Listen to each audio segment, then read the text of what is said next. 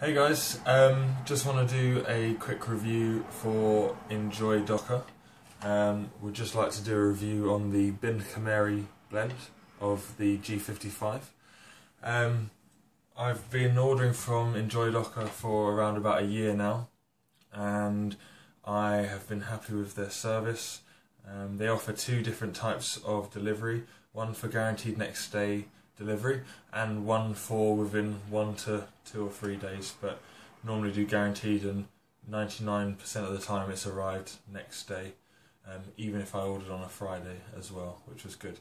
Um, so bear in mind it's about 9 in the morning right now and I haven't had any Dokha yet, so this is my morning buzz.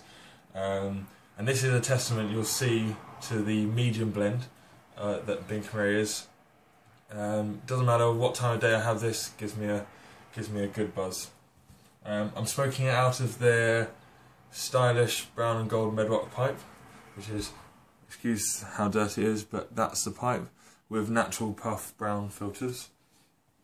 Um, I like the natural puff brown filters um, a lot more than the BioPipe because it has a larger hole in here. So what that does for me is that I actually inhale more smoke and I get a much stronger buzz than from the, the BioPipe filters. Okay, so I'm just going to have my... Yep.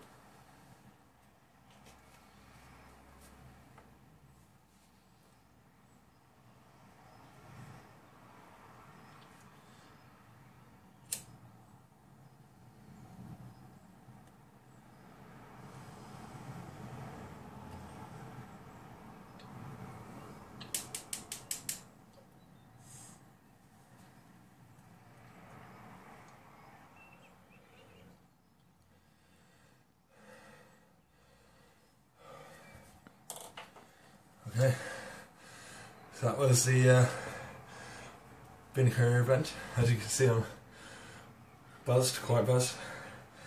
Um, so if you're looking for a really big buzz, I'll go for the Bin Khumery G55. Gets me every time. Really nice taste, really smooth on the exhale, and not harsh on the throat. Quite light inhale.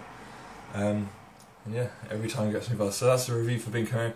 Thumbs up for, Bin, for the Enjoy Dokha guys, they've done a great job every time. Thank you for my review.